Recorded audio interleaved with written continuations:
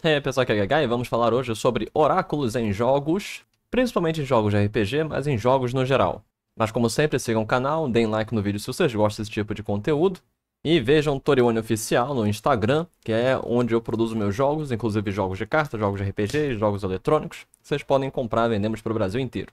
Agora, sem demorar muito, eu acredito que esse seja um vídeo curto, mas um pouco sobre game design, RPG, e Oráculo não é simplesmente uma classe de personagem, uma pessoa que vê o futuro, capacidades de divinação, ilusão, não, não é isso que eu estou querendo dizer nesse vídeo. Os o, o, a jogada de Oráculo, aqui temos um exemplo de ficha de Oráculo, é quando você tem uma jogada pura e simples para determinar um resultado ou um acontecimento dentro do RPG que independe, normalmente, das características dos personagens.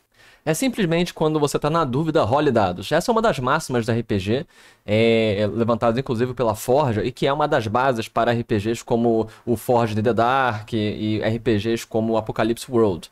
E também alguns RPGs antigos, as, ta as tabelas de encontro aleatórios e de eventos aleatórios do D&D também se baseiam um pouco nisso. Existem livros inteiros sobre oráculos, que é tabelas sobre tabelas sobre acontecimentos que podem é, se desenvolver ao longo de uma narrativa. E a ideia do oráculo nada mais é do que você ter uma, uma noção, fichas, é, fichas de acontecimentos ou fichas de resultados possíveis, prováveis ou potenciais dentro de uma determinada área e que você não quer, enquanto mestre, ter o, o mestre, o, o narrador, você não quer ter a, a simples arbitrariedade de você escolher. O coisa interessante de oráculos é que você não fica com aquela impressão de que o mestre está querendo fazer isso acontecer, o mestre que está forçando.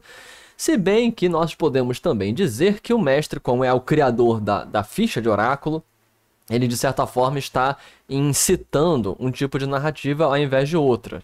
Mas isso também chega a uma, uma discussão meio que de um reducionismo, de um extremismo muito grande. Você dizer que ah, o mestre está roubando, o mestre está fazendo isso, o mestre está fazendo aquilo, é um pouco de suspensão de descrença que você tem que ter em qualquer jogo, seja jogo de RPG, seja jogo eletrônico, é dizer que o jogo eletrônico está forçando a barra para que o resultado aconteça, é dizer que o jogo eletrônico está roubando ou você aceita a engine, ou você aceita a rolagem, ou você aceita que as mecânicas do jogo são essas, ou você não joga o jogo.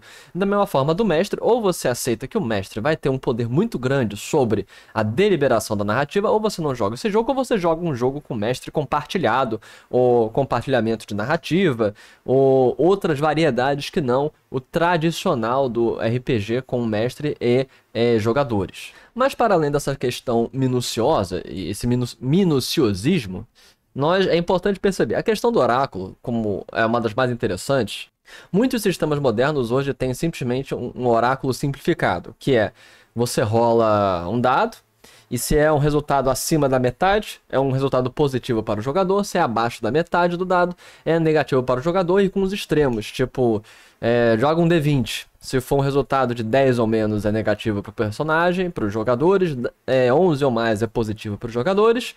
E é, 20 e 1 representa um, um, resultado extremamente negativo. 1 e 20 extremamente positivo. Eu faço isso há muito tempo em meus jogos de RPG. Especialmente se você está numa jornada. Você está no meio de uma jornada e você não sabe o que você vai fazer, rola um D20 para determinar o clima. O clima é bom, ruim, péssimo ou maravilhoso. Ou então você está tentando determinar se há algum encontro interessante para os personagens. Olha o D20. Você conseguiu um, oh meu Deus, é um monstro terrível. Ou então pode ser é, não necessariamente são encontros de combate. Pode ser que o personagem fique doente, pode ser que o personagem se percam, pode ser que os personagens vão para um local é, é, que não era estabelecido no mapa e é extremamente perigoso. E o oposto também é compreensível. Você tira um resultado extremamente positivo, a jornada, foi, a jornada foi mais rápida, você encontrou recursos, você encontrou um personagem que vocês queriam encontrar, tesouros, um mercante legal, uma cidade perdida e por aí vai. Então, o, o, o, oráculo é uma coisa muito interessante. Aqui tem alguns pressupostos muito interessantes, muito bons, que você pode mais ou menos aplicar para qualquer situação de oráculo, que são esses três patamares. Que é, você pode colocar.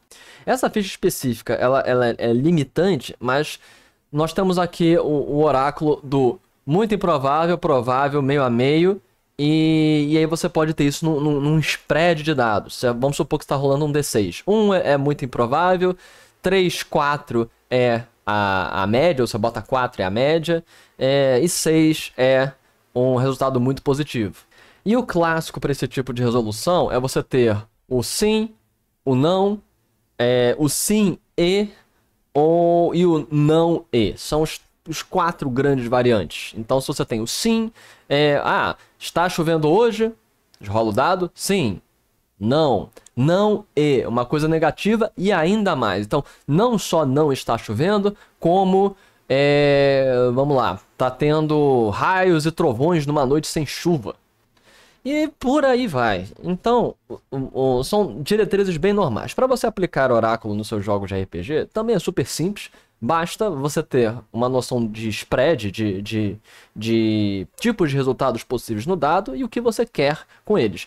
Na dúvida, sempre tem a noção da média, o acima da média, o abaixo da média, o crítico e o fiasco, a falha crítica e o sucesso crítico. Só isso é, determine sempre o que é positivo para os jogadores. Então vamos supor, vamos supor que nós, os jogadores estejam caminhando, estejam é, muito tempo sem água. Então uma chuva seria boa para eles. Então a, ro a rolagem positiva do oráculo de sorte, da jogada de sorte, ser uma chuva seria positivo para eles. Então uma rolagem acima.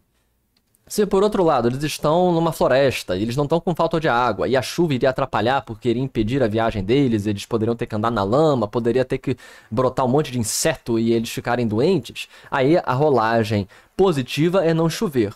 Perceba que enquanto mestre, enquanto narrador, enquanto cronista, você vai ter que deliberar sobre isso. Mas jogada de oráculo é uma constante muito boa, muito importante em vários jogos de RPG. Me digam o que vocês acham desse tipo de rolagem, se vocês utilizam. E até a próxima, pessoal. Aqui foi Gagaia. Falou!